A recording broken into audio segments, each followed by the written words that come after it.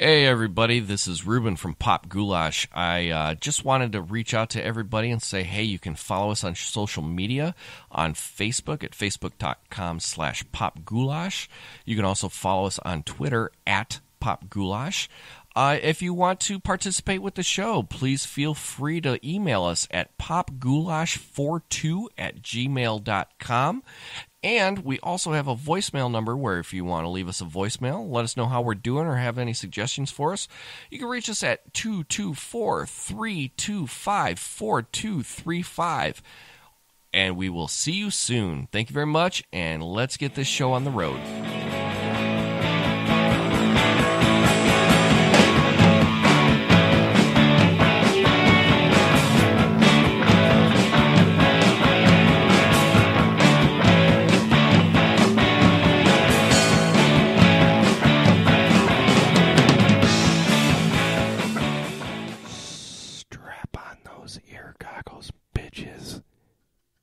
Time for some pop goulash. I'm Reuben. And I'm Dana. And we're gonna get sexy in your ear pussies. I don't know how sexy I can be tonight in people's ear holes. nah, I don't know if I can either. I got that, th- dude. I got that fucking throat thing going on again. Ugh, Just whatever you, ah, not whatever you guys do, have children, but have somebody else raise them. like seriously, I love my kids, but I've never like just wandered that borderline of illness in my oh. entire life. Just, just barely like. It's it's like like like it's like being on a tightrope. And like, no matter what, you're gonna fall the fuck off, and you're gonna get sick because you know children are are fucking They're petri, petri dishes. dishes of just disease and snot. Oh, dude. Okay, so get this. This morning, I'm getting the boy up. I'm like, all right, Grayson, come on, time to go to school. No, I don't want to go to school. I'm like, dude, this, this, dude, this is a constant at this point. And I'm like, buddy, it's you got to go. Oh my god. I'm like, oh, buddy, you know, you got you got boogers on your nose. Hold on, let me get this. I had a big booger. What'd you do with it? I put it in my mouth. I'm like, you ate a booger? Yep. I'm like, At what? least he's honest about it. I'm like, buddy, that's gross. Why? Why, Daddy? Why? Because it's mucus, buddy, and it's dirt and all kinds of stuff. You don't want to What's eat that. mucus, Daddy? I, Why? I don't even know why. It's just gross. Just don't eat boogers, man. For the love of Christ. Eat stickers instead. I Dude. don't. I don't know. Dude, Don't even do paste. that. I, Yeah. At least paste is made from hooves and shit. There might be some nutritional content in it. Get him his calories for the day by eating Elmer's glue. Yeah, well, you know, we all did it. you know, actually, I never did. Really? See, I Never did. Were you were you in school in the era of paste? Mm-hmm. Really? Okay. I'm only a year younger than you. but Yeah, I know, but I always feel like everybody's like five years younger than me because I feel so fucking old most of the time. I do, man. I don't know why. I feel like I'm just older than everybody because usually I am. Well, I know, I know. Like unless I'm like around Eli. Me, Well, you, but I mean to to a lesser extent. right? But like, you know, I, I always feel like I'm just like the oldest fucker in the room, and not not like by a lot, you know. But I just sometimes I just feel my age, and I'm barely fucking forty, man. Dude, I'm feeling that way lately too. Oh, you know, so I have to tell you, I did not eat paste as a kid, but you know what I did fucking eat? Do you remember those books with like the punch out stickers that had like the almost like the stamp glue on the back of them? No, You don't remember that shit? no. My sister and I used to eat those too. Like we'd lick them, but then we'd let them sit on our tongue for too long, and then we fucking chew them. You were just practicing doing acid for when you were a t- high schooler. Never did acid. Really? Never did acid. Oh. I did lots of other drugs. I never did acid. See, I'm I'm kind of that way. I I did a little uh I had a little fun with some LSD. I remember one t- so I think I think I need to make a reoccurring segment on the show of like embarrassing Reuben stories cuz god, I got a ton of them, man. And they're always fun to tell cuz they're humiliating. Lord knows I have a ton as well. For my, not about you, about myself. Well, well, yeah, of course, of course. like, oh god, I was thinking of one the other day. Okay, when I was uh when I was like 5, listening to the radio in my mom's car, like I used to think that the band would come in and play the song on the radio and they'd have to hurry up and get the next band in. That's so cute. And I also thought every band was from Chicago. Because how did we know? Yeah. we had no. we had no concept of the world around us. we had no Like, oh yeah, they're from they're from Chicago. yeah. Where's Chicago from? Detroit. I don't know why. They're just from Detroit. I don't even know what Detroit is. I was five. I don't give a shit. Man, my mom still has the radio that uh, we used to listen to when I was a kid, and I remember like dressing up in her like clothes and like I, one of the songs that I totally remember jamming out to was Katrina and the Waves, "Walking on Sunshine." And so, yeah, I know that's kind of fucked up. Um, I'm walking on sunshine. wow! Every time I hear yeah. every time I hear that song, I think of Jack Black in in God, High in High Fidelity, Fidelity. like spinning around the store when until he falls out. down. Yep. One of my Turn that shit off. Barry. Dude, I just wanted something we could talk about. I just want something I could ignore. It is so sad every time. God, I don't, dude, we're all over the fucking place tonight. I don't really care. Nah. My my brain is fried.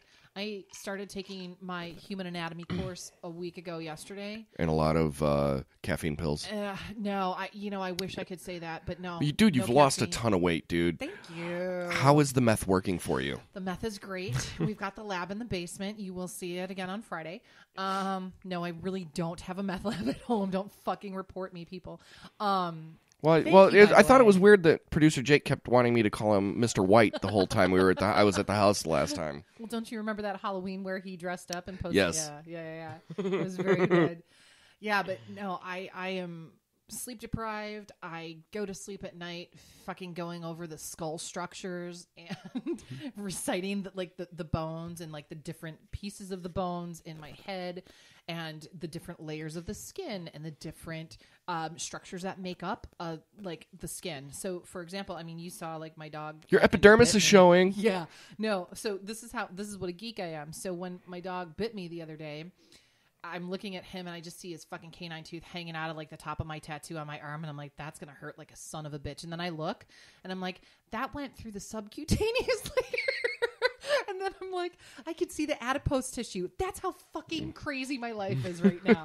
that's how crazy Yeah, but you know what though? It's gonna pay off in the long run. it is. Maybe. I mean, I feel like it is. There's a there's a greater good to this whole craziness in this plan. For sure. Like I, my cousin Misty actually went through nursing school, and now she's a nurse in Oklahoma. Oh, see, it's fa- like I'm so stoked to get to that point. Finally, the hope is that by next fall I'll be in a program. Well, she said too that like she went to Oklahoma because well, one she met a dumb boy who was dumb, and now they're not Stupid together. boys. Eh, well, they've been on again, off again. Anyway, that's her business, not mine. Right. But uh, it's easier to get a nursing job outside of the state of Illinois than it is to get a job in the state of Illinois. It is. And you need a bachelor's in They nursing to get a job in Illinois, basically. Well, and that's pretty much the standard now anywhere because they changed it. I want to say about five years ago. It used to be where you could get the associate's level Mm-hmm. and then you could get a job hired in as a nurse, but they changed that. And like, there's a lot of statistics out there because again, like I'm a math geek too, so I read a lot of that shit. I know Nerds! totally.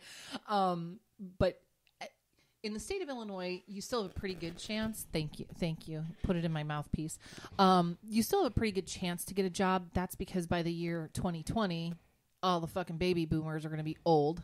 Well, and by 2020, we'll probably have had a nuclear holocaust by then. and at that point, Probably. everybody's going to be very dead. Yeah. So I've got a good chance of getting a job So you got that going for you. by the time that I graduate. So that's good. That's good stuff.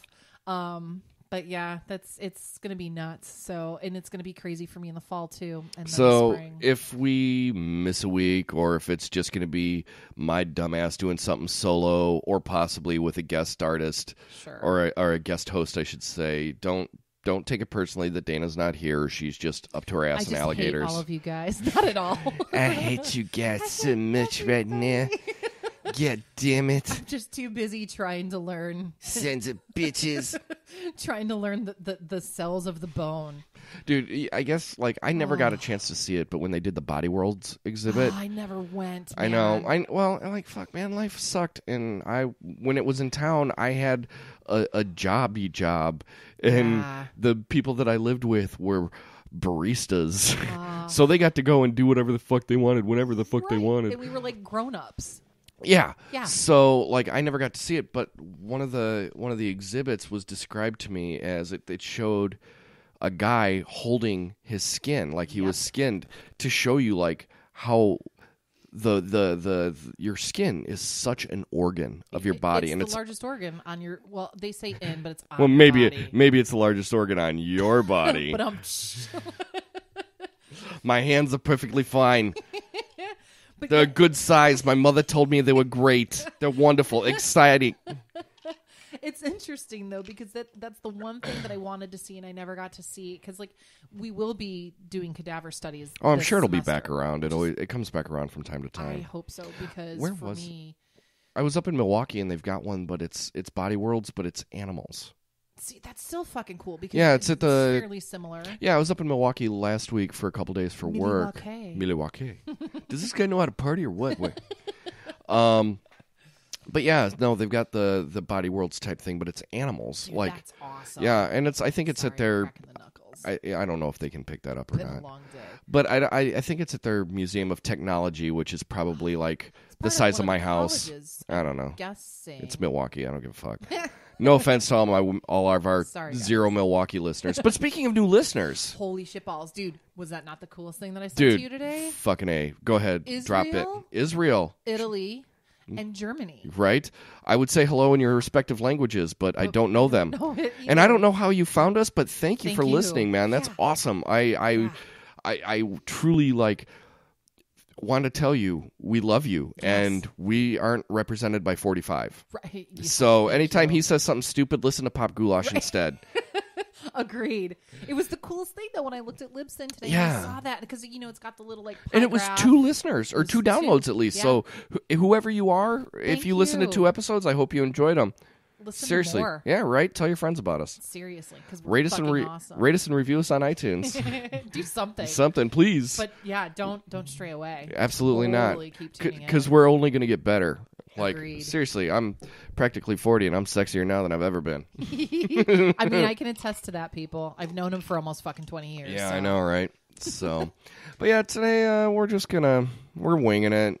Dana just got done with class. I've had a long day. I'm starting a new job. Oh yeah, yeah. That's right. Yeah, I'm. Can't Uh, go into details because no, it's top secret. I yeah, I don't speak about my jizob here should you? uh, because I could probably get terminated from my jizob just be Right. because of the content of our particular program. but uh, let's just say that I'm on the sales end now, at least for a minimum of the next three months. So it is just gonna. Okay, It is a temporary thing, but it, they said that m- bare minimum three months. there. Hey, So it'll be that's through the cool. summer. Better for schedule wise, though. I feel for you. Mm, kinda. I- yeah, I don't know. It's been kind of wonky so far, and it's not like Uh, uh, what it was sold to us as and what my hours are probably going to be have uh, mm, not really been. deviated. Yeah, a little bit, a little bit. Um, That sucks. come not to find out that like maybe more than just a you have to be on the schedule on a Saturday. It's more like, hey, maybe about work four hours on a Saturday because that's when you might have the best time to to, to work. Or maybe even, hey, go out there on a Sunday. Yeah, fuck it, give it a shot. Yeah. That's when you should be helping me study for my fucking anatomy class, and showing me like flashcards. What is Uh, this? that should be your husband helping you with anatomy, and you should have a little bit more fun with it. Now, if this is going to sound so morbid and terrible, but if I could skin him and look at the, the structures of the skeleton, I want I a doctor do to take your picture so I can look at you from inside as well. I, I love you, Jake. I'm just kidding. Ish. Ish. I mean, it would be fun, right? I could stitch you back up. Um, So yeah, we're just gonna kind of play it fast and loose tonight. So no real assignments, no uh no. no real we don't even have like an outline, but like we've never really had an outline. And when we have, we've deviated from Yeah. anyway. It's like a septum up in this bitch. It kind of So. is. And I mean, I, you know, we haven't really had like a catch up episode anyway. No, like God, we had the well, thank you everybody for listening to the Chris Cornell episode. Yes. Like it that got was great feedback. Yeah, a lot of great feedback. Thank you again, Jen, for for Yes. coming on. And uh, you know, again, I apologize for for the audio issues. We're look, we're still new at this, and uh, you know, with this, uh, we have very Basic. limited equipment, Yeah. basic equipment to get started here. Like, you know. Maybe we might set up a Patreon here soon, or if you want to. PayPal us, we'll figure that out too. Yeah. You know, just to try to upgrade our equipment a little bit, because let's face it, Dana's in college. I got two kids, and we can't afford shit. Even though I work full time and go to college, I still can't afford shit because Yeah. you know I pay for school. Right. So, So, but uh, you know, that's probably forthcoming. We don't want to ask money from you guys, but hey, if you like the show, well, you know, maybe maybe you, you could help us out. twenty or you know or a fifty. You know, that's I'm turn it down. that's the one biggest lie that Kevin Smith always told about podcasting is, oh, it's free. You know, it doesn't cost you anything. Bullshit. This shit cost me thirty bucks a month. That's right. You know, and uh, you know, And when I ooh, boost fucking ads on Facebook, you know, depending on what budget I set and all that stuff, yeah, like it's not cheap. yeah, and you know, oh, oh boo-hoo, it's thirty bucks a month. You know how many diapers that buys? That's, That's- like a box of fucking diapers, man. Well, that's what I was gonna say. That's like a tank of gas. You know yeah, for saying? sure. That's because we're old and like that shit. That Look here, Billy. get off. My You might be lawn. taking your pennies and buying moon whistles and penny penny whistles and moon pies, but damn it, put that shit in the bank.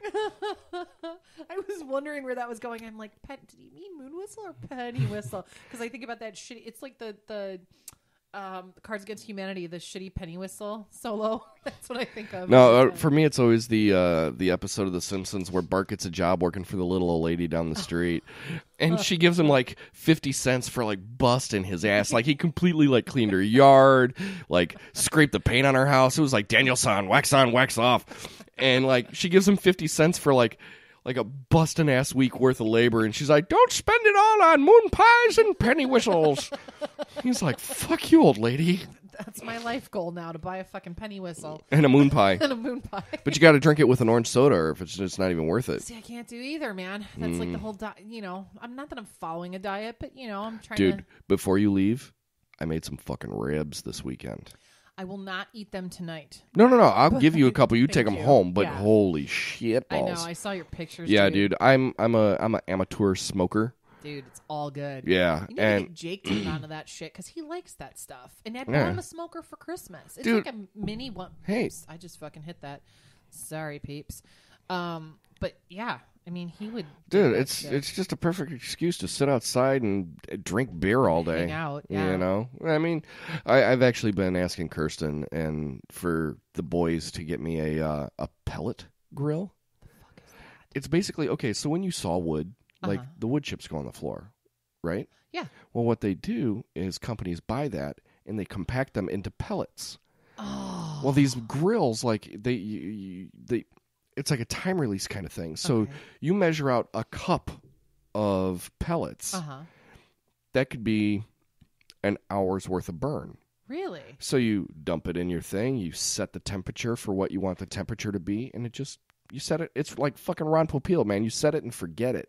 That's awesome. Right? Like I could smoke a turkey and mow my lawn at the same time and not have to like keep coming back to the grill to like is it a 180 is it 180 is it 180 oh god it's 227 i gotta turn it down you know? It's just a better way to regulate the temperature and stuff like that and i so want one. I saw one at me nuts or menards. Seriously menards sounds dirty if you say it like a pirate. Try it. No. do it. Do it. Do it. Do it.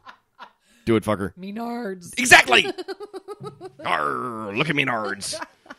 So, um, but yeah, I saw one over the weekend at Menards for like three hundred bucks. I'm like, dude, you guys could totally do this, and you would benefit from it. It'd be awesome. Right, right. I- I Everybody cook wins. for you. Right, Right? exactly. Not And like I it's- don't cook for them anyway, but like everybody wins. And it's the summertime, so it's kind of, Right. is it like one that just sits outside? Oh or- yeah, yeah. No, you wouldn't. You know, there's definitely combustion and fire and fumes. You would not use it in the home. Okay. See, I wasn't sure if it was like a stovetop kind of thing. Or No, like, no, no, okay. no, no, no, no, It's it's it's a straight up grill. Got But it. then I also saw this one that was like a double wide, and one side was gas, the other side was charcoal. Oh. And I don't like gas grills. Like I like the convenience and the speed of them. Kirsten does too because she's like, we'd grill, but it takes you like a half hour to get it ready. I'm like, I know, but there's it's a beauty in the process.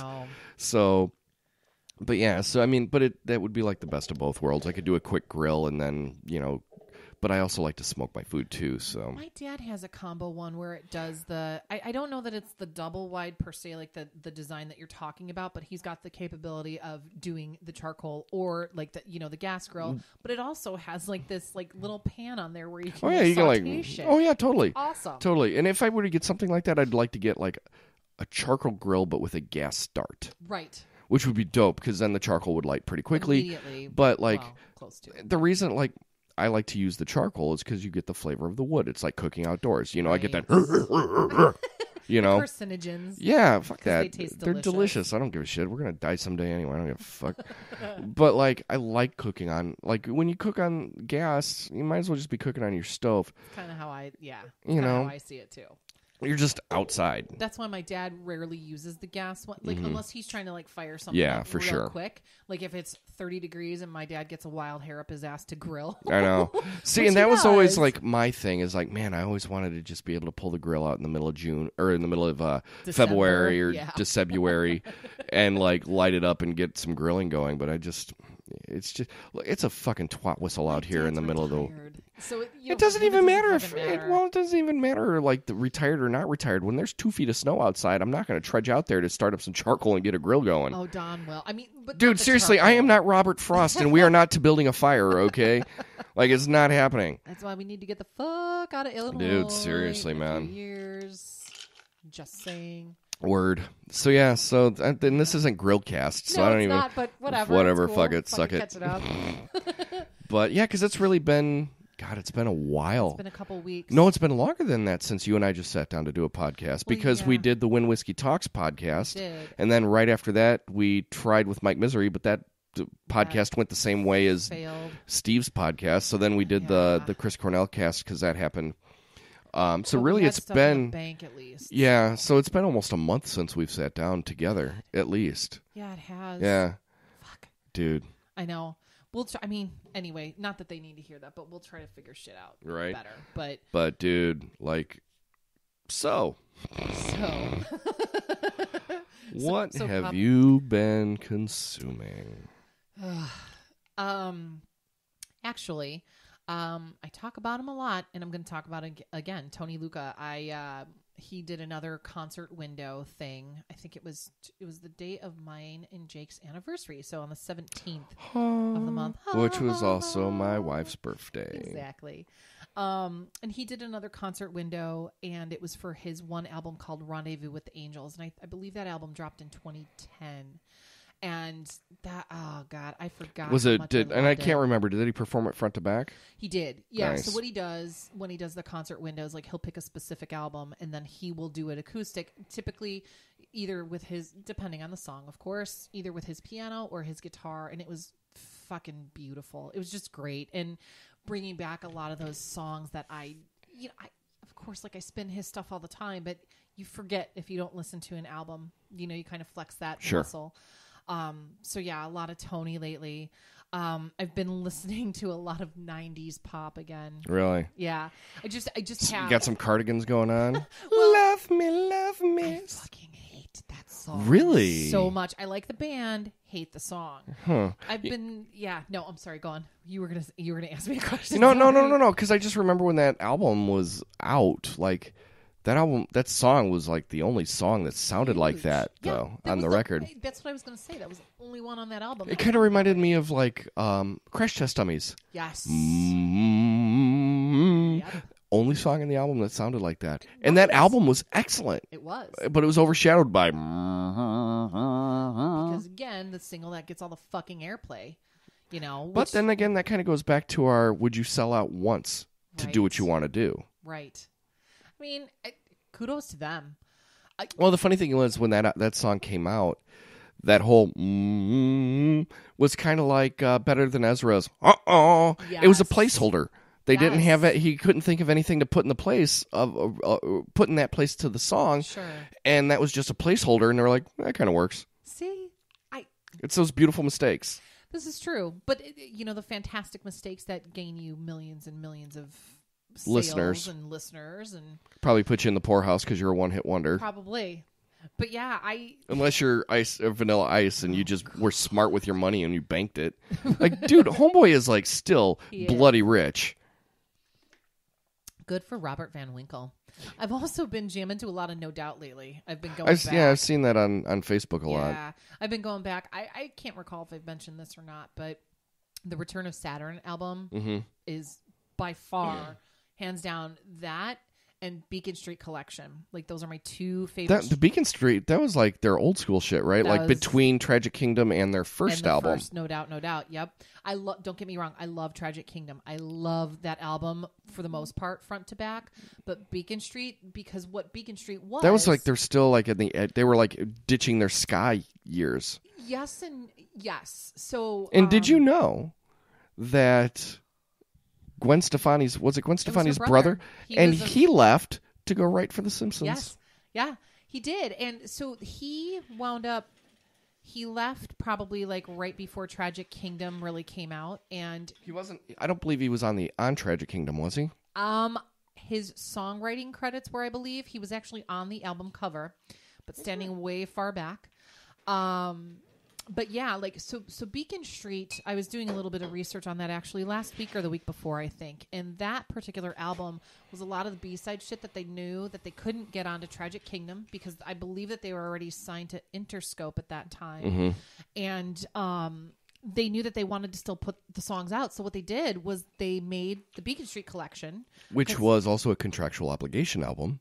Uh not Beacon Street. No. That was on Interscope, yes. No, I don't think so because Really? from from what I recall from reading the article, they actually sold that at shows. So it's out of print. But You can get like you can buy it now, but it's a reprint. Hmm. Okay. So I think that I actually Because I, have- I remember Kiss the Sky carried it. yeah, Because it was the one with the bird in the mouth. yes Right? Yeah. yes, and it's That was the that's- album cover. That's that was that's the what I'm album referring cover. to. But yeah, it, that was actually they sold it at shows, and they sold a lot of that album at shows. But yeah, it was not contractual because it was Tragic Kingdom was Right. Well, because a lot of times they'll release a B sides album just to have like to a drum con- up the interest. well, not even to drum up the interest. Well, like let's say like they've got a five album deal. Sure. Well, they'll put out a B sides compilation or a greatest hits that counts towards those five albums. Yeah, this one was definitely not on that, which was interesting. Mm-hmm. But yeah, so it's I've been jamming to a lot of that stuff lately because Beacon Street is totally different than Tragic Kingdom. It just is. Yeah. I mean, of course, a lot of the subject matter, you know, it's got to do with Gwen coming into her own, and she had a lot more songwriting credits as well. So because she took over the songwriting when her brother and his name Eric, I think maybe Eric Stefani, that's right. Eric Stefani. Um, because he used to write Yeah. for the band. Mhm. Be- and- and I think he was a keyboard player. I, think, he was, the originally a keyboard player. Well, because they started to kind of um, stop the foray of, of the ska stuff after that one guy. Yeah, I know is it, is its shitty sound. Um, the one guy died, and I can't remember what he died from. Um, but that's when they started changing their like the arrangements and stuff. Yeah, I st- kind of moved more away from ska to more pop rock. Yeah, and it's and it's interesting for me though too because um yeah, like you go from the very first album that they released, no doubt, no doubt. Which was hella ska. Oh, the, the whole thing. Dude, Total Hate is still one of my favorite I songs love on that that. damn song, and it's interesting though to listen to the progression. Like I personally don't really care for anything of no doubts, like anything new. Really, after Return of Saturn, even the Hella Good album, or I'm sorry, Rocksteady, was Rocksteady. that album. I re- I saw her on Although that, that tour. the simple kind of life that that, on cover that they Saturn. that was on Return of Saturn really because I, I swear to God that was on that was like on a greatest hits compilation is like the the the special song that they would record for like including two unreleased songs. Yeah, no, that was on Return of Saturn Okay. because that that song, um, the video is gorgeous too for that song. Um, yeah, it was not it. it Hell, ugh, that that whole album, Rock Steady I saw her on the Return of Saturn tour the first time, and then the second time that I saw her was for the Rock Steady tour. And I just, I the songs on that album, it was a lot of reggae vibe, which is cool. I like reggae. Oh music. yeah, because that's the one where she had the oh god. I can't remember the chick's name. Oh, but uh, that song I just want to like hella good. no no no no. Well, that one sucked too, but it's no. It was the one that like oh the fuck was the name of the song? Let me pull up the album because I, I I was not like I said not a super fan of that album. Um, I just didn't because I get it. Okay, I get it. Bands are going to change and they're going to change their sound over time, but that's how I felt about even some of their newer shit that they released a few years back too. I just didn't like it. It wasn't my forte. Um, Underneath it all. uh, yeah, that fucking Oh, that fucking song makes me want terrible. to choke a baby. Yeah, yeah, that's kind of how I feel. Yeah, it was underneath it all. That was the one because the the singles on that album, of course, were hella good. Hey baby, underneath it all, and I think I feel like uh, I think that was it. I think. running was another one. Yeah, I don't recall that one. I don't know, but it was shitty album. But I've I've been listening to the other stuff that was actually good in my opinion. Um, but yeah, just yeah, that's really kind of what I've been getting back into. And Yeah, I, I've stuff s- too. I've seen uh, I saw No Doubt a bunch of times on the a few first tour. I saw him at Q1's Jamboree, Okay. and that's when I met Gwen and Tony Kanal. Oh man. But that's another story that I'm still waiting to get Eli on the podcast to Damn tell. Eli. And then uh, we saw him at the Metro That would have been a dope fucking venue to see them at. with uh, Goldfinger oh yes. and the Executioners, I think, Interesting. or the X members. I had an X in it. I don't remember. We didn't. We didn't. But like, it was a tiny like. Met, we've spoken about the Metro before, and it's such a tiny little I still venue. love that venue. But it was cool. I mean, we were right there. Like, and it was cool. But like, it was one of those where we realized that Gwen doesn't understand how people come to see multiple shows over multiple eras. Right. And every time I've seen them right before they do Spiderwebs. Oh God. Do you ever get those annoying phone calls? Shut up, Gwen. Think of some fresh banter between your frickin' songs. Like, look, you know, whatever. I'm gonna. I'm not even gonna talk shit. I don't care because, like, I was gonna go off on a rant about Gavin Rossdale and then Toby Keith or whatever stupid hillbilly hick she's all hooked up with now from The Voice. Oh, the one who was married to Miranda Lambert. Yeah, what the fuck is his name? I can't even remember his name off the top of my head right now. Mm, yeah, douchey McBaggerson. That's how fried my brain is right now. anyway, it doesn't matter. Doesn't matter what his name is. But like, I'm just like, ah, I don't care. I know. Like, seriously, that's why you haven't had a hit single. And let, don't even get me started on her solo career. That is just hot garbage. I I'm telling you, that's I, I completely agree with you. That's why I never got into her. Which I think shit. it's so incredible that like how prophetic the Don't Speak video was. Well, you know that they purposely wanted the video set up that way because it was already starting where everybody was pulling Gwen out because she was the star, you know, according to everything. So they purposely the video originally, if if I'm recalling correctly, they wanted it to be about the breakup of Gwen and, And Tony Kanal. Tony. But um, because there was a lot of turmoil in the band at that point, and like a couple of the members. Now, of course, they weren't really going to leave, but they had talked about it because they Yeah. were pissed off about the attention that she was getting. They wanted to make it even more like a, a fuck you to the media and stuff. Like we we see what you guys are trying to do, and we're trying to like circumvent that. Yeah, but it ended up just becoming a self self self-fulfilling prophecy. Absolutely. You know, so I'm just like, ugh. Yeah, I just yeah, man, her solo stuff I'm not a fan of. I never was. I just I don't get it. yeah. I don't get it. But yeah, I, so God, what else? Uh, well, started getting into um the Cure. No, I shouldn't say getting into, but I just started off- listening to The Cure. listening to The Have you ever heard of this band, The Cure? Well, oh, Reuben, embarrassing moment number 432. In 1987, I came up to my uncle at one point. I'm like, Cubby. Yes, my uncle's name is actually Cubby. It's on his birth certificate, fuckers. Just, just like my name is fucking Reuben Hood. Go fuck yourself. We just have interesting names in my family. But uh, I came up to my uncle, and it was right when uh, uh, "Permanent Vacation" by Aerosmith comes Oh out. yeah. I'm like, Cubby, you have to hear this new band. He's like, Oh, really? What is it? And like the video came on MTV. Cubby, Cubby, come here, come here. Come here. It's it's on. This new band is on. And Cubby looks at me like, Are you fucking stupid? I saw Joe Perry punch out Steven Tyler like four years ago on stage. Oh, we've got a special guest. Hey, buddy. Hey, Ricky Dog. Hi, puppy. Hey, Bubba. So the Ricky Dog decided to come down and Hi, join us. buddy. Say hi. Hi. I know you can bump your butt on the table all you want. It's funny, like every like I've I've called him the Ricky Dog ever since he was a pup, and like everybody's like, I, I don't think they understand the reference. that they do either. Like, and I got it from Sublime, Yeah. the Louis Dog. Yeah. I got my Ricky Dog. He had the Louis Dog. He's so cute. Yeah, what's up, monkey? so, but yeah, Yeah. Dusted off some of my old Cure stuff, like obscure things, like remind me before we go. I've got some Cure stuff for you. I know you don't have. Okay. I, you would be surprised. But they're- I I doubt you have this stuff. Okay. Challenge accepted. Um, always. But I posted something on the page the other day that actually Riot Fest initially shared, and it was one of the very first um, like television appearances. of Yeah. Cure. Yeah, and like, look, what happened to him? It's you know what because so they started out Easy Cure like they were some other band name before that too. It wasn't all of the original. Mm-hmm. Right, right, right. Members. The performance Um, was phenomenal. It was fucking great. And I don't know if you recognize though, the lyrics to A Forest were completely fucking different. no, I know. I did recognize. I'm like, I don't know these words. Why Yeah. did I not know these words? Totally different. Well, like I told one of my Because that's like, honestly, that's my favorite Cure era. Oh, that's a that's a fantastic era. Like, and, and everybody's like, oh, Disintegration. Disintegration's a great record. It's was, it's like, a, turning point for them. but like, I really like kind of the punk rock era of, or post punk post punk or yeah. post new or po- new wave era of the Cure. yeah, Like that whole sand in the what is it? Sand not sand in the face. Staring at the sea. That greatest hits album. That That, era album.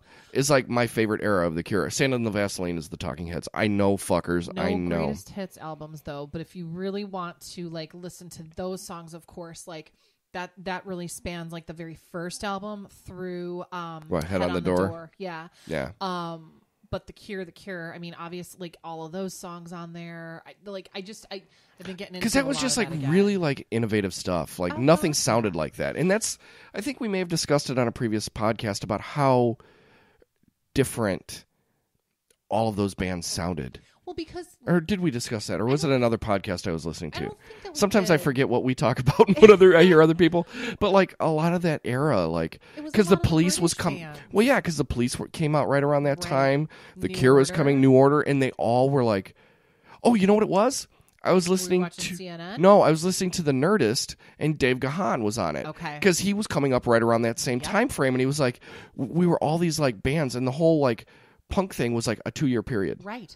And everything that broke after that was all these band like he's like yeah i saw the Cl- i saw the clash i saw you know the sex pistols and it was like a two year period and then Mm-hmm. Right. after that everything just exploded. Well and it did and, and they were all support like all the bands after that time frame they were super supportive of each other. It was kind of like that was their version of what was going on at the whiskey a go-go at the same time period in new york. Well that's la no the whiskey no the whiskey no i'm thinking uh, uh cbgb's i'm sorry not the whiskey what was going on at the whiskey was heavy metal hard rock at that time right that's when a lot of the glam bands that's were when the well that was a li- maybe the startish it of was it, starting because Motley Crue was big on that. yeah i think yeah you had a lot of those kind of bands. But the, I was watching something. Um, I had seen it before on CNN. and- the soundtracks No, actually, that show got pulled. It never. Really? I was really sad. It, There was only ever three episodes that aired, um, but it was the '80s. They're coming out with the Yes. '90s soon. and Yes. they were talking about this. Um, I caught it uh, on a rerun this past weekend when I was up late fucking studying.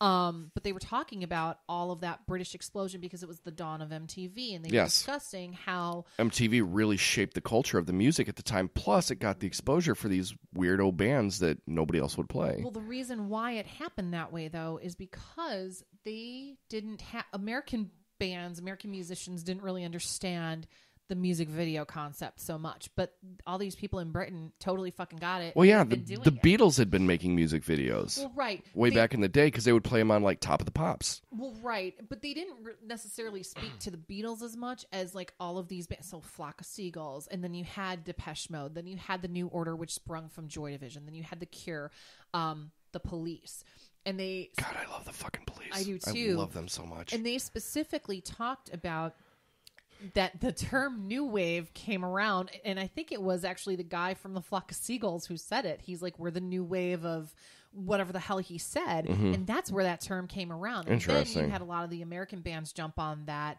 So then you had, you know, the Go-Go's and then you had like all of those new wave quote unquote. well, yeah, well, you had like the and the the U.S. counterparts would have been like Blondie, the Go Go's, Right. um, Talking Heads, Right. the Ramones. Right. Um Yeah, I would consider the Ramones in that because they were wave? well, yeah, because they weren't punk. Punk had ended by that point. but they were still always more lumped in that because they But they were lumped- CBGBs. well, all of the bands I just named came out of CBGBs. They were all like the CBGB staples. Well, Blondie was also they. She started out. She did kind of like the funk, but also Well, she was a like, the modeling punk. career. She was also uh, Rapture was the first video ever on MTV with a rap in it. Yes. And it was the most horrific white girl rap Oh, it was ever. fucking terrible. But it's so iconic now. We were also talking. This was interesting, and because I we were f- fairly young at the time when MTV first premiered, but they were talking about how um, I think I was four. I was like three. Four or five when it first came out. Uh, Because I remember the whole, I want my MTV. It was like 1980. 83, I think. No, it was like 80 when it first aired. No. Yeah, dude. Because the very first video, Hey, Siri. the very first video was "Video Killed the Radio Star" by the Buggles. When did MTV debut? She didn't say shit. I don't know. Um, It it was definitely it was either Siri's stupid. I th- it might have been December of 80, but it was definitely er, like 80. Um but yeah, they were talking about how they only had like a 100 plus videos in rotation, but they didn't have any black music. on. Yeah. And the only reason that it ever even happened is because Michael Jackson was on CBS Records and they basically CBS Records basically told MTV, "Fuck you if you don't get him on there, we're pulling all of our other artists who you are playing their videos who are on our label." It landed on August 1st of 1981. Okay, so it was 81. I was Mm-hmm. close, but So I was four. yeah. No, 81 you were 4? 78? You wouldn't have been 4, you would have been 3 cuz I was 2. All right, well, fuck you. I don't math, okay? I do though. But um so it was August. Okay. No, 35 years ago. I was four, fucker. You said it debuted in 81. Yeah. 78 to 79, 79 to 80, 80 to 81. Oh, Yeah, fuck you. Yeah. Hello. Well, I don't math, I okay? do. Suck it. So at any rate, but that's how that's how a lot of the black artists started getting their way onto MTV was because of Michael Jackson, and it was because of his performance. Ah, shit, and I can't remember. It was um when he did the moonwalk. No, it was before then because the moonwalk happened.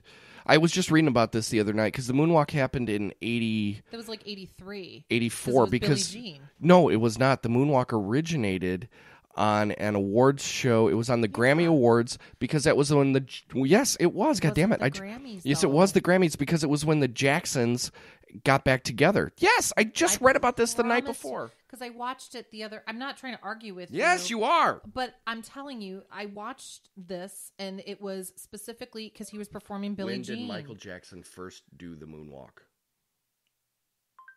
According to Wikipedia, a popping move, it became popular around the world after Michael Jackson performed the dance move during a performance of Billie Jean on Motown 25. Yesterday, today, forever. Check and mate. Fuck you. It was the Motown. I knew it was Yes, one of the but labels. that was the exact same time because what had happened was during this, um, the um, the Jacksons had gotten back together for the Victory album. So what they did was the Jacksons performed a song, then Michael Jackson performed performed Billie Jean and stole basically the entire Jacksons reunion because it was him and Jermaine that were both the performed. But it was the yes, Motown. It was the Motown 25. That's what I said. It wasn't the Grammy. I knew it wasn't Well, the it was it was some type of TV show, fucker. God But- damn. I'm not. Relax, dude. Semantics. So my point was is that that's when it broke big and that's when they really understood that they needed artists like him on MTV and then it paved the way for Prince and then Whitney Houston and then all of all of these other artists that finally started well, and then and then the one thing that really kind of tied everything together, surprisingly, was the uh, the rock and wrestling. When um, Cyndi Lauper she came Oh, into the fold, and she was big. Fr- she was good friends with Captain Lou Albano. right and he was and in the he was in the- Wanna Have Fun Well, he was also in the Goonies Are Good Enough video as well. yeah he was And that's when that kind of tied that whole thing together right along the same time that WrestleMania 1 was happening. So there was like a big tie-in between WrestleMania and uh, and MTV. Like MTV was one of the main per- like promoters of it. that's interesting And that's how the WWF, I don't give a fuck if they call it WWE now. it was the WWF, sorry World Wildlife Foundation. It, I, fuck you. Um but that's how the WWF rocketed to the stardom that they had was because of the MTV generation because say what you will about Vince McMahon and and how he runs his business, he's a smart fucking businessman. And at that time frame, he knew what he had to do, and he tied it in with the MTV generation because Hulk Hogan was all over that piece. And it doesn't totally shock me to hear that, though. I mean, I you know I remember that because that was right totally around the time remember. where I was totally into wrestling. So I was like, I was into it, man. You know, My nose is killing me right now. they, they I remember they had a press conference at the t- I think it was at Madison Square Garden, and Cyndi Lauper was there, and it was basically like, hey, we're announcing, you know, WrestleMania one, That's and cool. Rowdy Roddy Piper, like for some reason, Cyndi Lauper was like trying to present. I think she had a gold record, and she was trying to present it to. Uh, Hulk Hogan or something, blah blah blah, during this press conference, Uh huh. and it was like one of those, you know, like the boxing where they like get on the things and they're like, you know, Yeah. and apparently like um rowdy roddy piper kicked her and like you know that's the thing that was the tipping point that ignited the whole wwf and really kind of kicked off all the wrestling fans and brought them into the mtv fold That's cool. and to his death rowdy roddy piper said the biggest regret he ever had was treating cyndi lauper that way he said she was a wonderful woman but he is also he was voted like the number one heel which means bad guy in the mm-hmm. wrestling world of all time Understandable. yeah i i dude shit. that that era was my like when i was a kid into wrestling man like rowdy roddy piper was my my shit right there I didn't have MTV. I didn't have cable until I was in college no. I I think I was like eight or nine. But like, like I didn't. I only knew MTV from my cousin's house, being able to go there and watch it. right Like that's all that I knew. Oh yeah, because cable was- wasn't as prevalent back then. We had five channels. Right. Well, no, not we had more than that, but But like I always listened to the radio and stuff back then. But yeah, like so totally like spun off on that one. But uh sorry. no, that's okay. Um but that's I mean that's pretty much what I've been consuming besides my anatomy lab and uh textbook over this last few weeks. I mean, I you know, time's Nice. been kind of crunched. What about you? What have you been? Oh, let's see here. Um, a lot of Soundgarden, Well, a yeah. lot of Soundgarden, a lot of uh, Chris Cornell stuff. I've even been trying to get into his two solo albums that I really didn't care for: the Carry On and Scream. Scream was the one that he did with Timbaland as the producer. Really? Yeah, it's weird. It's a weird record. Did not know that. like it was not very well received by anyone critics or fans alike but i appreciate the fact that he tried something different You know a fun fact about him too. So Buckley's uh, the the twentieth uh, anniversary, I guess, of his passing was yesterday, Right. on the 29th. Uh, I guess he Chris Cornell was like a big uh, influence behind the Nightmares by the Sea album, really? Helping choose songs and whatnot for it. you know if anyone would have been able to cover chris or jeff buckley it would have been cornell. Not that he covered him, but it was no no no no no. I'm not saying that he did. I'm just saying if anyone were to have covered buckley Uh huh. it would have it could have been chris cornell. I think cornell had the vocal range to do it. Oh, he sure, sure. and and he would have done it and it would have sounded probably better but that's my opinion man Totally your opinion. I mean, I, I think it was just an interesting little fun fact for me. Yeah, that's kinda cool. that. And I was like, that's kind of awesome because they were. Well, they were label mates. I mean, they were both on Sony because I want to say that Cornell's solo records, with the exception of the first one, I think the second two were on Sony. on Columbia. Columbia is owned by Sony. Oh yeah, that's right. I Yeah. always forget that shit. Yeah, but I want to say that uh, Carry On and Scream were both released by Sony because um, Euphoria Morning, which is the one I told you to listen to. Yeah. Did you like that one? Yeah, I really Dude, it's a it. beautiful record. Um, but uh, those two were released on on Columbia Okay. as well, so they were label mates by just you know not at the same time, obviously, because I think Buckley was dead well before. He was Columbia. He passed in '97. Yeah, yeah, those two albums So- were like in 2000 and 2004. Yeah. Um, I went back and started listening to Tripping Daisy again. Did you? Yeah, yeah. Um, my buddy Charlie, who came over to the house last on Sunday, Uh-huh. whom I'm hoping that we can get next week, or a week from next week. Are they back in town? They're yeah, they're going up to Michigan for a family vacation, and then they're coming back down. So Okay. I'm hoping next uh, week from two weeks from this weekend. So not next week, the following week. Okay. they'll be back down. I'm hoping to get him on the podcast because he's a young kid, but damn, the kid's talented. Yeah. Um, he went to go see a band called the Vandoliers, and they're kind of like a country rock band. Sounds familiar because I mean I like that. That's kind of like my Your forte thing, as yeah. well. Yeah. So he went to go see them, and um, he went to go see them at Good Records in Dallas. Okay. Good Records is owned by Tim DeLaughter of Tripping Daisy, the singer. Ah. Good Records is the record label owned by Tim DeLaughter from Tripping Daisy. Okay. That's what um, the Polyphonic Spree featuring Tim DeLaughter was. okay. He put that basically he, they put he, they self released.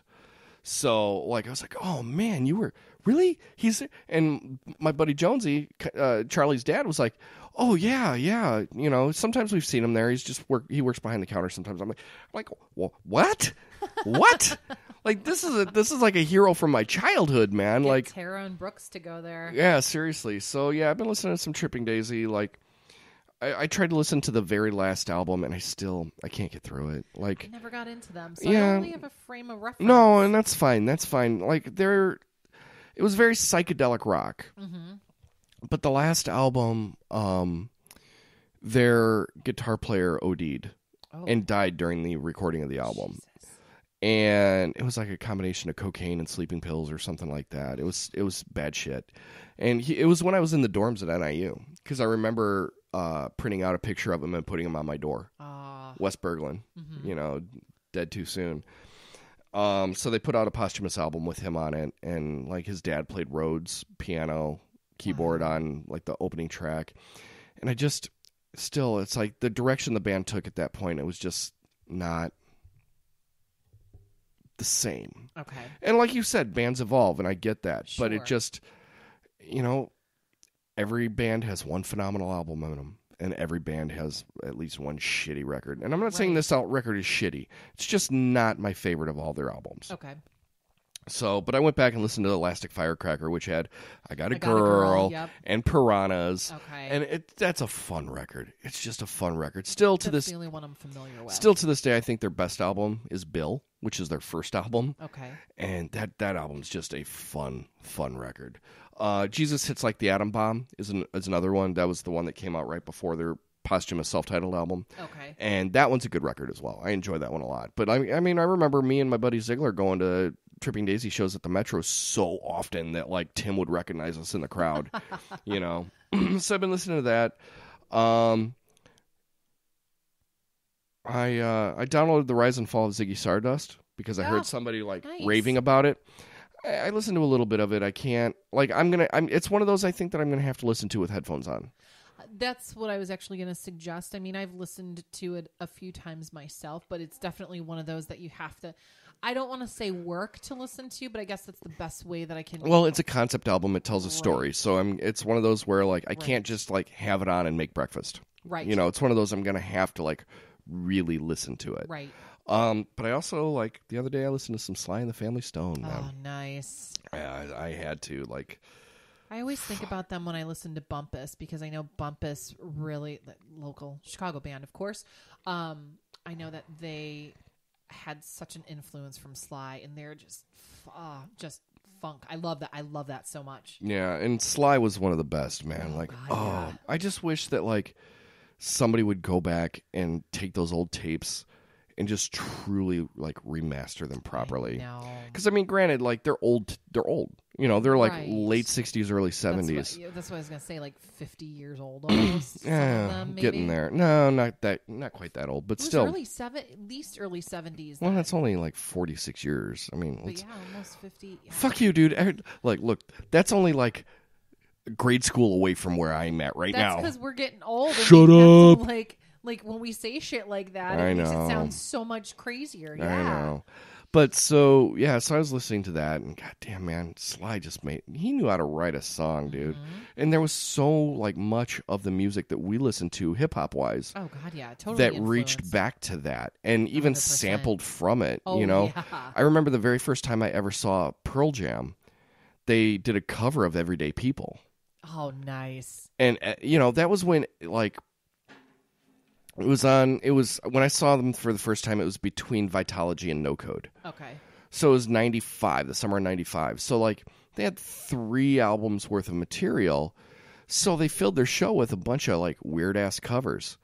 They did that. They did uh, uh, My Light, Let My Love Open the Door by Pete Oh Townshend. wow. Um, they did, uh, oh, shit. well, they did the Sly and the Family Stone cover of. Um, did I say which one they did? No. Everyday people. Everyday People.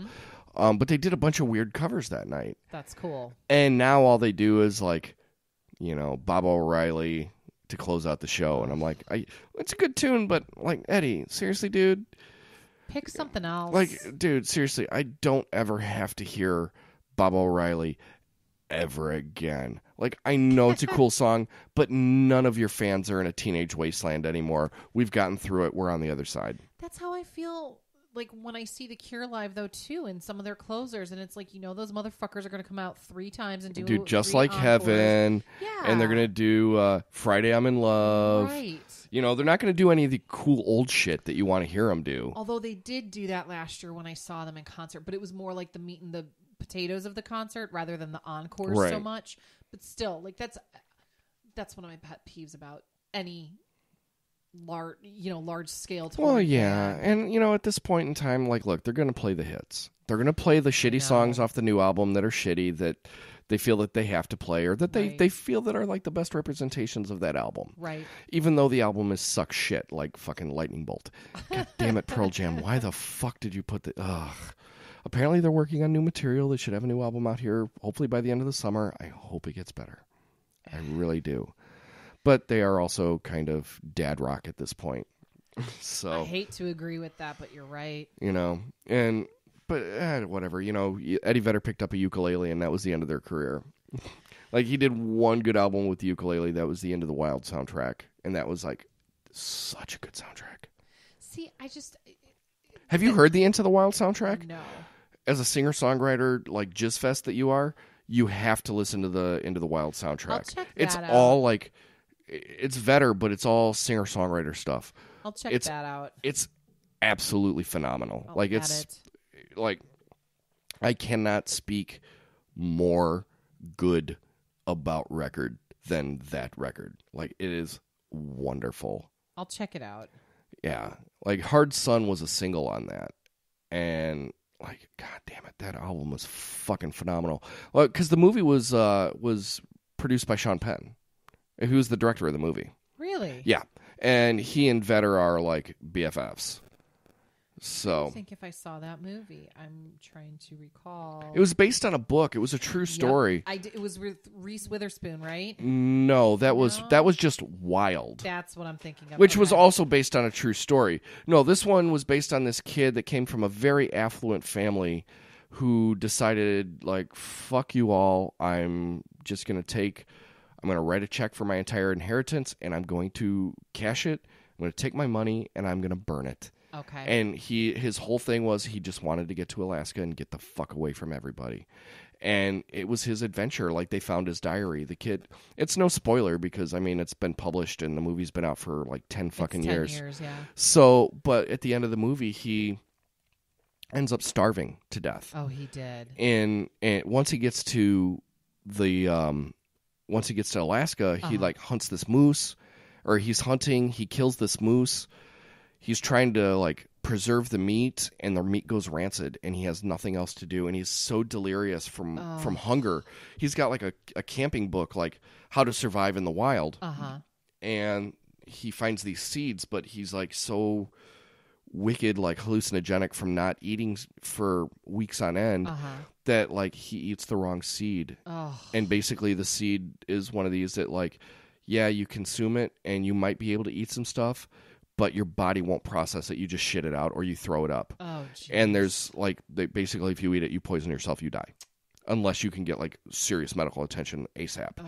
and he they i guess like weeks after he died or I, I don't know the time frame but shortly after he passed away a group of hunters found him emaciated passed out dead in the in his in Oh this bus that he was camping out in Right.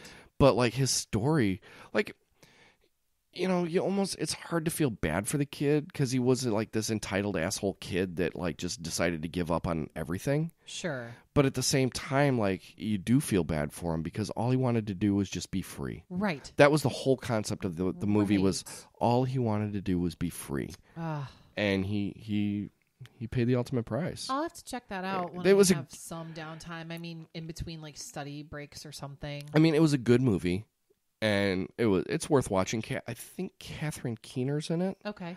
Um, Vince Vaughn has a cameo in it. He plays a small character in it. He plays like a farmer that ends up getting arrested for like income tax evasion or some shit.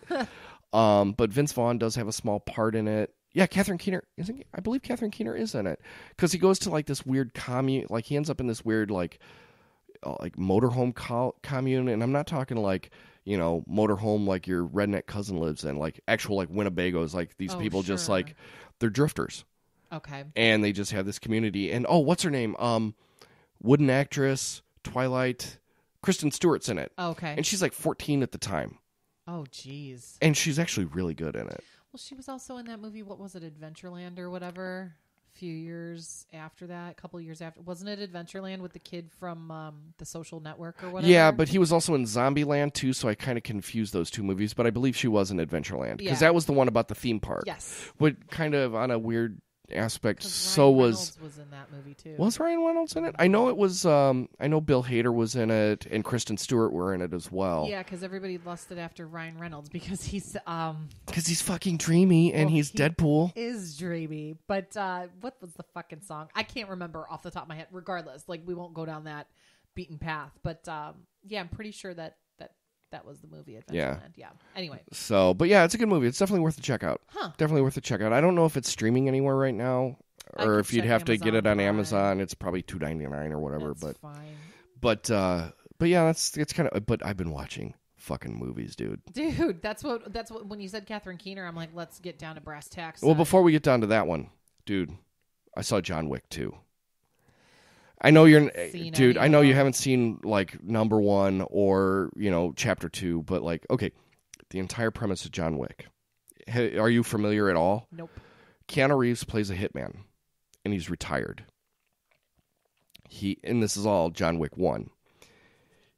And basically, I've just retitled both of these movies. Fucking Keanu Reeves kills everybody. but in the first movie, he um, he is he's retired. He's married, and his wife dies of some disease. She Okay. just dead. Well, in a postscript of that scene, you see that she gives him a puppy. And she's like, I want you to love him as much as you love me. You know, it's cute. It was very sweet. Uh huh. So, you know, it's just him, and he puts his puppy in this awesome old ass car that he has, and he drives to this fucking gas station. Do you watch Game of Thrones? No. You should watch Game of Thrones. When? I know. When? Oh, finally! The tables have turned, motherfucker. When? The tables have turned. Oh, you need to watch this. When can I watch it? I got fucking kids. Oh, yeah, Yeah, yeah, but there. guess what though? There. What was I fucking doing when I was taking my classes before though too? Like nothing, nothing. Yeah, well, you know what though? Life. My yeah, well, here's the deal. Uh, your classes will be temporary and over soon. I still have these two little rugrats upstairs. Anyway, um, but so he runs into this kid at a gas station that's like, "Hey, I want your car," and the guy's like, and Keanu Reeves is like, "Fuck you, no, it's my car." Well, they find they they end up finding out who it is, and they track him down, and they steal his car, and they kill his puppy. Oh, Keanu Reeves at that point, John Wick, goes down to his basement with like a sledgehammer and just like bashing this section of concrete out. He opens it up and there are all these fucking guns and all this shit out underneath there. Like he he like he basically buried his old life and brought it back. And and like these movies are like the revenge flicks of all revenge flicks. and he just goes and like murders the entire Russian mafia. Like it's amazing. Like it doesn't sound like much. It sounds like a lot of death and destruction, and I'm gonna have to get an Allen wrench and tighten that back up. That's why it keeps like that's why it keeps like hanging to the left. it's all good. You people can't see this, but It's her my microphone. microphone's like a limp dick right now. Well, it's not limp. It just kind of hangs to the left a bit. Yeah, it's kind of limp. Anyway, I wouldn't know. Um, but yeah, so then the second movie picks up, and the, my only complaint about John Wick Chapter Two is that the first 20 minutes of the movie are the last 20 minutes of the previous movie. well, that's kind of a rip off. It is, but it's also two and a half, or it's a two hour movie. So the second movie, basically, he's like contracted. He has like a blood oath to this mafia, and he has to c- complete this hit. Uh huh. And I don't want to like, I'm not going to spoil it for anybody, but Common's in it, and ki- they have like this battle between the two of them Okay. and like there's this in both movies there's this hotel called the continental which is like a safe haven for all like hitmen. Uh huh. it's like the hitman hostel. Okay. and like you go there and you're safe and you know there's no bloodletting on the on the grounds of the, of the hotel. So like hitmen if they have a contract out in each other like that's their safe haven. They can hold up hole up in there and like you cannot spill blood or you're excommunicated from like the the um the guild uh, but dude it's a fucking killer movie and it's opened up for a third there's going to be a trilogy and i cannot fucking wait Interesting. and I was just gonna rent it, and I'm like, it's five ninety nine to rent it, it's fourteen ninety nine to own it, and I'm like, I really like the first John Wick. How much is that? Fourteen ninety nine. Yeah. Oh, okay, on iTunes. Oh, there's a two pack, nineteen ninety nine. Cha-ching. Bought. so I, I did that. Um, I, I ended up buying Logan, which was on sale for fifteen bucks but it also has Logan Noir, which basically they took the movie and made it in black and white. They took Oh. all the color out of it and turned it into a black and white film, which makes it awesome. It's like the Easter egg of the Rocky Horror Picture Show. Oh, they really? Do it in uh, like black and white up until kind of like Kind of like Wizard of Oz. yeah. Okay, Yeah, up until like the when he comes down the elevator shaft. gotcha. And They- I'm sorry if I'm looking glazed over. I'm just exhausted. No, no, right no, now. it's cool. but they also did that for um, Mad Max Fury Road. Didn't They- see that either. That's a good movie too. Like I know it's a movie for dudes. I get it. And I don't think it's specifically for dudes because um uh what's her name? She's really hot. She's blonde. And I'm drawing a fucking blank right now. She was in Monster? Charlize Theron. Yes, she's in it. And uh dude, she's a strong hard ass motherfucker in this movie. Like it is a fucking tight ass movie. Like seriously. It might be about, you know, a chase. Like the movie as a whole, like two hour chase scene. Absolutely worth every minute of that chase scene. Maybe. Absolutely worth it. I'm sorry. Like and I don't you know me. You know I fall asleep when producer Jake talks about cars and all that bullshit. That's how I'm feeling right now. No offense, like with these movies, and I'm not. It's not. No, no, no. I know. you. I know. But honestly, like Mad Max Fury Road, definitely worth. Like it's got like a really, really high rating on Rotten Tomatoes, critics' reviews, everything. Speaking of which, you know what else got like a ninety-eight percent on uh, Rotten Tomatoes so far? Huh? Wonder Woman. Really? Yes, it's getting lauded as the movie. I really want to see it when it comes out this weekend. I just I can't. I have an exam on Monday. I can't. I wanted. That's why I asked what time you were working on Friday because I know I yeah, work unfortunately, like yeah, like I would have to. Uh, with this new job, I'm going to be shadowing on Friday. I get it, dude. and I can't do it during like unless I call it sick, yeah, but and there's no way, and like I cannot see it before the kids go to bed. There's just no way. So we'll have to. I might have to go see it after we pod Oh, on. Friday night and Yeah, just go. I'll be studying again after that.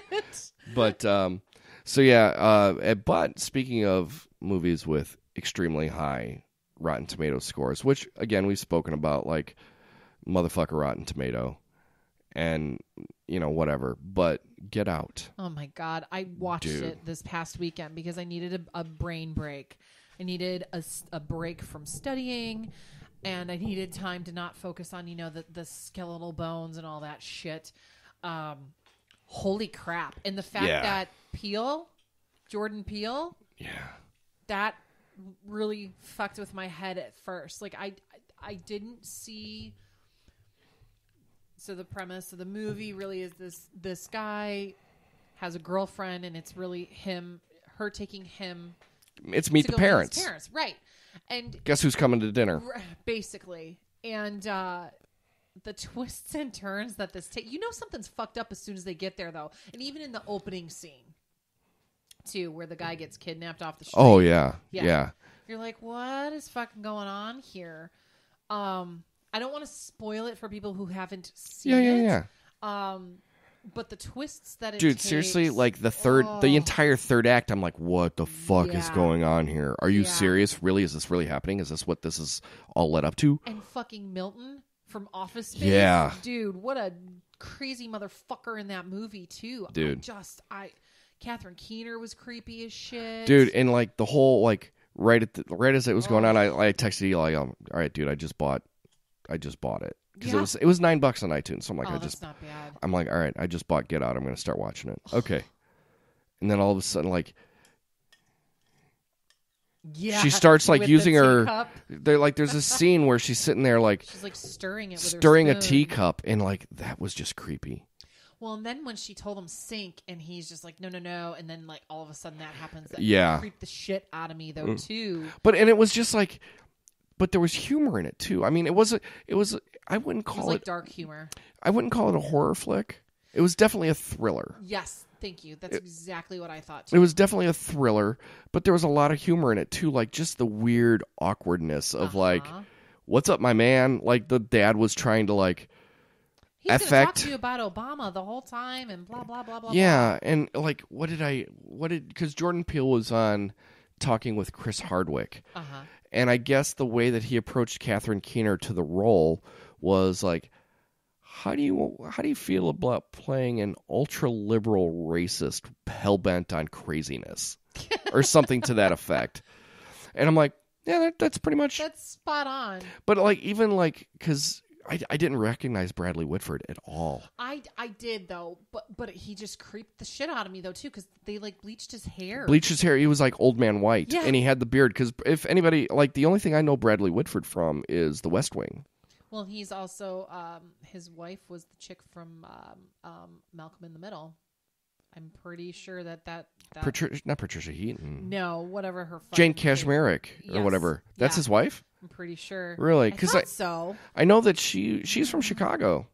Am I wrong about that? Seatown represent, yo. Is it is it Bradley Whitford? Is that yeah yeah yeah? yeah. Well, I always confuse. I always think With Bradley. Whitford. Yeah, That's what I think too. my first name confusion. Jane. Oh, I, I guess they used to be married. Ah, But they were, yeah, he used to be married to her, but they were married for quite a lot of years. But yeah, interesting. that's how I always like assimilate him because of her. But Assimilate? You mean associate? associate, thank you. I Assimilation means like I'm going to assimilate you into the. I told you, dude, the brain. It is just, it is so late right now, and I have to be up in five and a half hours. To Uh, yeah, go to that makes. work. I got to be up in five and a half hours to take care of Yeah. children, so I understand. But yeah, like, dude, that movie is so good. It's really good. I, I I went into it with no expectations because I didn't like. I keep hearing all these good things about it, and I wasn't sure. And then it had me hooked really from like the opening scene yeah, and just all that shit. And the creepy kid who plays the brother, I can't remember where he's from before though. Um, but at first, like I looked at him because he looked like a freckled faced younger version of Heath Ledger. yeah. That's what he reminded me of. And I was just like, where is this little fucking creep from? I know I've seen him before. I can't remember his name. I don't know. And the the girlfriend, the daughter, whatever you want to call her, she was creepy as shit too. I mean, the whole movie. Uh, his name is Caleb Landry Jones. Okay. I have seen him because he was in the X Men First Class. Okay. He was in the very first First Class movie. He played Banshee. Uh, he was also in the sush in the uh, Social Network. That's why that's why I okay. He was fraternity guy. But I vaguely remember him from that movie. He was also Lewis on Breaking Bad. That's why okay, that is a better cuz I'm like I rec yep. Okay, that's why. And he was on the Disney Channel show Victorious, which I don't think you've watched. Did you watch Friday Night Lights? Uh no. Okay, he was in that. And then he was in a bunch of like weird kind of Indie movie. indie movies, blah blah blah. Um, but that was about it. Like, yeah, That movie though, I I for anybody out there listening, watch it. I don't play fight with drunk people. Oh god. I the whole thing from start to finish. Really. I mean like at the end I felt it was a little bit ridiculous-ish. Like Well, I mean, it was going to be. but you know that- that it had to at that they point. had to. They had to. But Again, another one where the science is complete bullshit. oh total bullshit. And and that's what I thought in my head, but at the same time You're like, this is fucking Lucy. no, I didn't say that in my head, but I, I kept thinking, I'm like, this is total bogus bullshit. However, The suspension of disbelief is fine in it because you're like, all right, this is some like secret society type shit. right. But right. like the weird auction scene. oh my, I was like, wait a minute, what's going on here? Like, I, knew didn't see that right coming. away. As soon, Well, I knew that something was up, but I didn't know which direction it was going to go. I'm like, this is weird.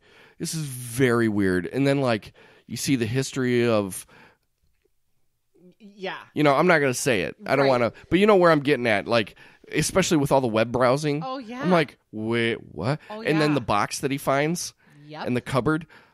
Whoa, I knew it was going that way though, because just the way that they kept flashing in between the scene with him and her down at the water, and then going back to the auction, and like I'm like, yeah, like I know we're kind of talking in circles here, but just I I don't want to say that it was predictable because it wasn't, but I understood. Well, actually, it wasn't. It wasn't a. It wasn't an auction. It was they were playing bingo. It was the Right. bingo scene. It was a bingo scene, but it, it, it for all intents and purposes, yeah, it was totally. It was a bingo scene. Yeah. So, but yeah, dude, seriously, if you guys get a chance, man, honestly, if if it's still on on uh on iTunes for nine bucks, download it. Seriously, Yeah. buy it. Like And it's I watched it worth on the demand watch. just because it was easier for me to. to Yeah, do for that, sure, but for sure. But yeah, it's absolutely worth the watch. It's Yeah. so fucking it's good- twisted. it's a good mind fuck, that's for sure. And apparently, Jordan Peele is uh he's writing another one. That's good. And I don't know, I don't, I don't know if it's set within the same universe. Interesting. but it is like it's there. Like, oh, oh, oh. I saw Split. It was the latest movie that- with uh, that M Night Shyamalan Ding Dong wrote. Ah, okay. Holy the fuck, I when I can, I'll have to seek that out and watch it, dude! too. uh, yeah, like it is muy excelente. Like he is back, and it's not like oh, there's a twist. There's not a twist. There's no twist. No twist. But it's good. And it ties into one of his other movies as well. Okay. And I'm not going to spoil it Don't. because I don't want to be a douche.